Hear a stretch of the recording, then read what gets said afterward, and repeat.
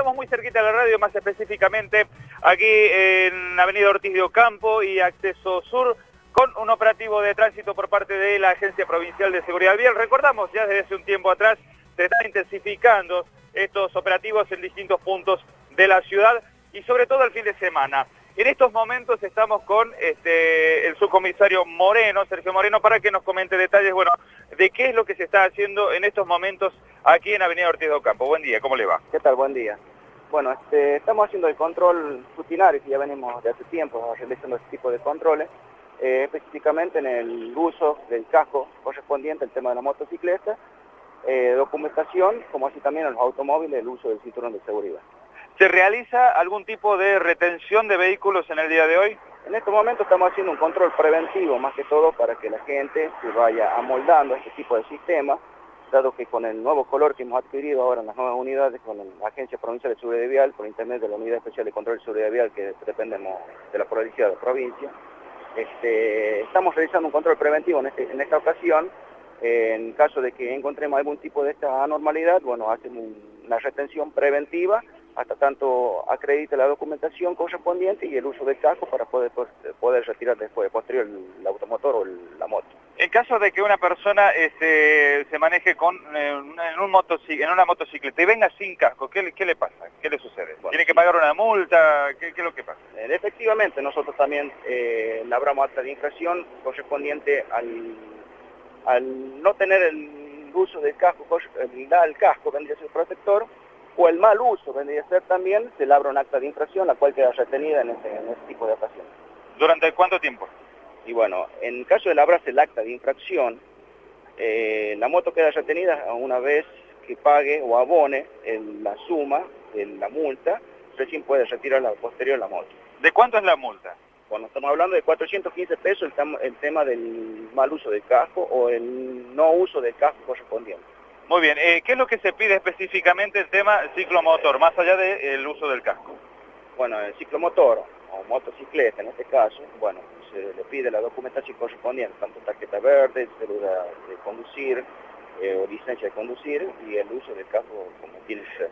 Hay mucha, eh, somos una ciudad que tiene muchísimas motocicletas, ¿no? Ciclomotores y muchos de ellos no están, es decir, tienen la tarjeta verde, pero no están al nombre de la persona que la está conduciendo, ¿no? Porque no está hecha la transferencia. ¿Qué sucede en este caso? Sí, efectivamente, nosotros vemos mucho de este tipo de casos cuando nosotros hacemos la retención del vehículo, en el cual la documentación eh, no está a nombre de la persona o el titular nuevo que está conduciendo en ese momento. Lo cual nosotros le exigimos, una vez para poder retirar ese tipo de vehículo, que hagan los trámites como corresponde y ya vengan con la documentación a nombre del titular de la persona que tiene que retirar el vehículo mientras, mientras tanto, la moto queda retenida eh, por parte de la policía. ¿Se cobra algún tipo de, mm, eh, por el tiempo en que está retenida esa moto? Es decir, si tiene que pasar un mes hasta que esta persona pueda ajustar el dinero para hacer la transferencia, pasa un tiempo bastante importante, ¿no? Entre que ustedes la tienen y la puede llegar a retirar. No, no, no, el tema de la estadía no cobramos nosotros, únicamente cobramos el valor de la multa que es en el momento de lo que sale en ese momento de la inspección. Automóviles. Eh, vemos que muchos vienen sin el cinturón. Por lo menos se les está diciendo que se pongan el cinturón de seguridad, que se haga ya una costumbre. Más allá de eso, eh, ¿cuáles son los papeles que se exigen? Bueno, el tema de los automóviles, sí, efectivamente, como, como decía usted, el tema del uso del cinturón correspondiente de seguridad, y bueno, el tema de la documentación también, tanto tarjeta verde o tarjeta azul, eh, licencia de conducir y el seguro correspondiente en vigencia al día. No se ha mencionado el RTO todavía. Eh, mucha gente se pregunta por qué eh, se está haciendo, ¿no? Muchos automovilistas se están llevando a hacer el, RTO. ¿Cuándo va a ser exigible? Bueno, el RTO en este momento nosotros también le estamos haciendo de forma preventiva, haciéndole la advertencia a la gente, a los conductores, para que tengan en cuenta. Nosotros vamos a empezar a aplicar también una infracción referente a ese tema una vez que nos habiliten las actas de infracciones para poder empezar el labrado de la misma.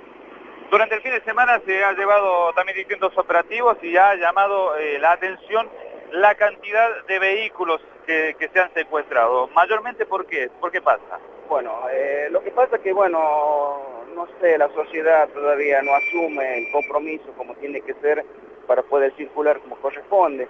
Eh, le hago un detalle aproximado del tema de los vehículos, motos que se retuvo durante el fin de semana. En total de motos por infracción a, la ley de tránsito, por el mal uso de casco vendría a ser, se hizo aproximadamente unas 150 motos retenidas.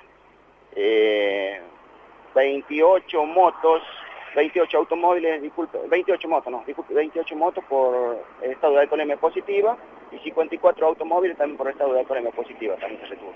Es muchísimo, ¿no? Es muy elevado realmente el número y preocupante.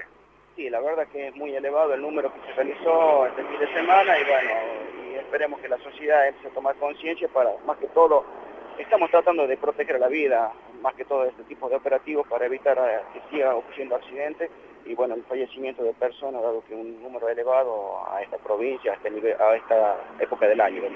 Obviamente que es mucho más, este, más importante que se secuestren automóviles a estar lamentando la pérdida de una vida. Carlitos, ¿alguna